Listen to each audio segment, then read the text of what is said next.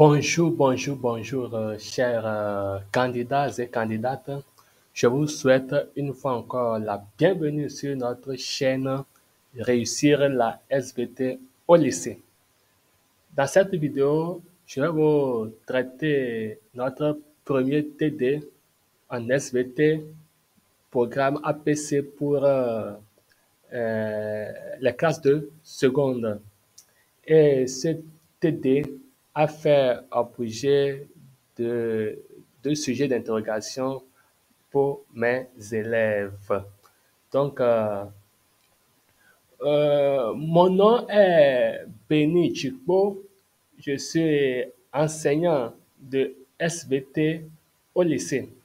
Si c'est votre première fois ici et vous voulez comprendre et réussir la SVT, commencez maintenant en appuyant sur le bouton s'abonner et l'icône de notification en forme de cloche et consultez les liens et les informations présentes dans la description.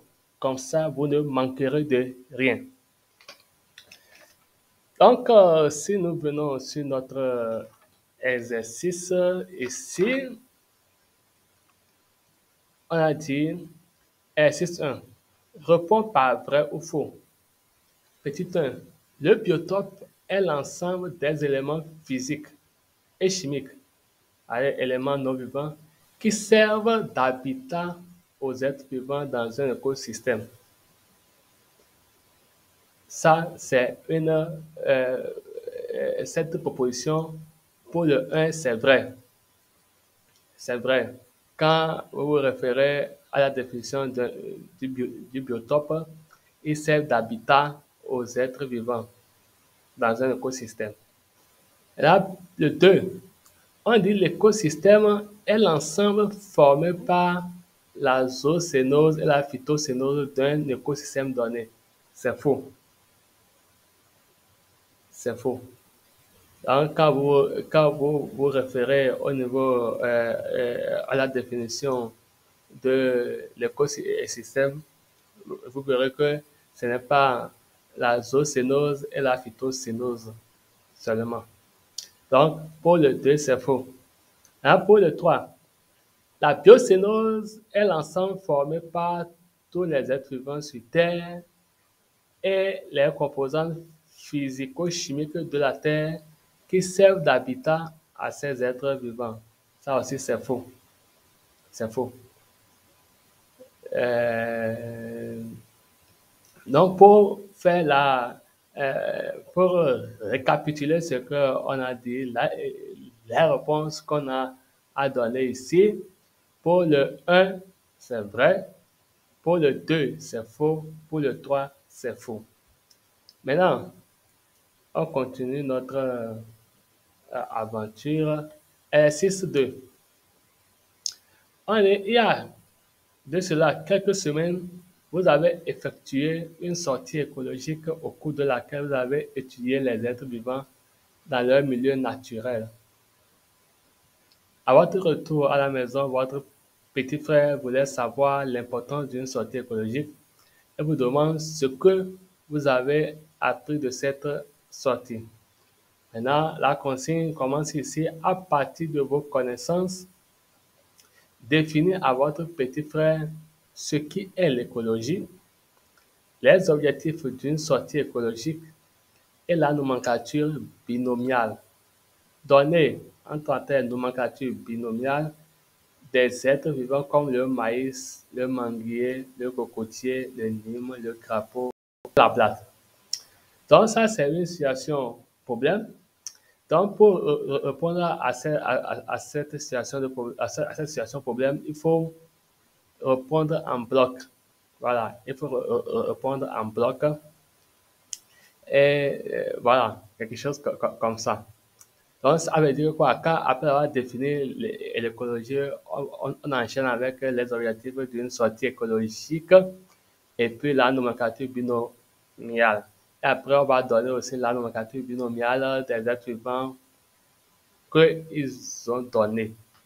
Donc, pour euh, l'exercice 2, on va aller L'écologie est la science qui étudie des milieux où vivent ou où, adverbe de lieu, où vivent les êtres vivants, ainsi que des rapports de ces êtres avec le milieu, avec leur milieu. Voilà. Maintenant, les objectifs d'une sortie écologique sont découvrir les milieux naturels, permettre un contact direct avec le milieu naturel et étudier le milieu naturel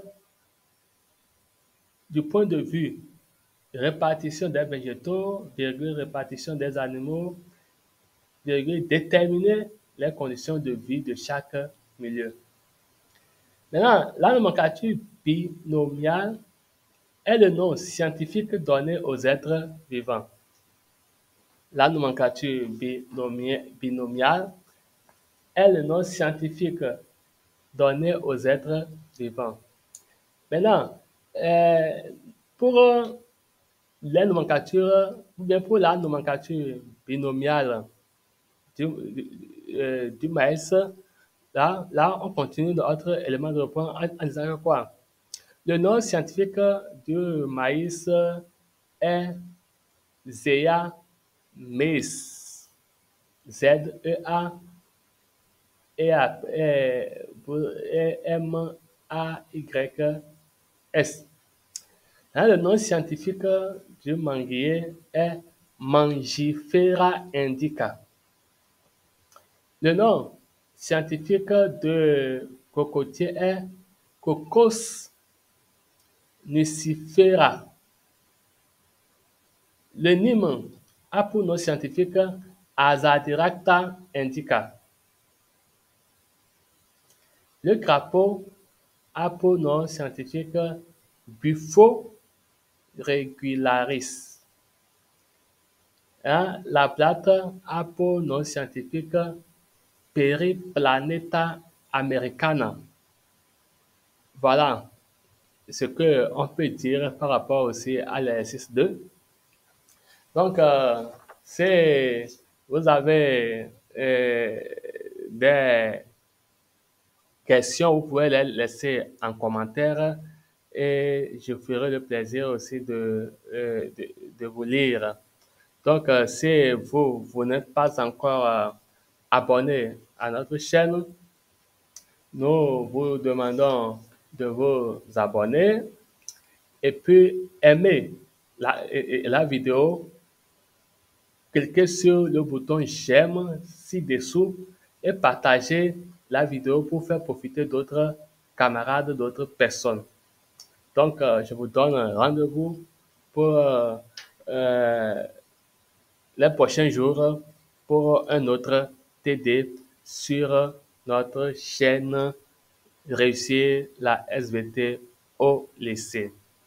Là, bye bye.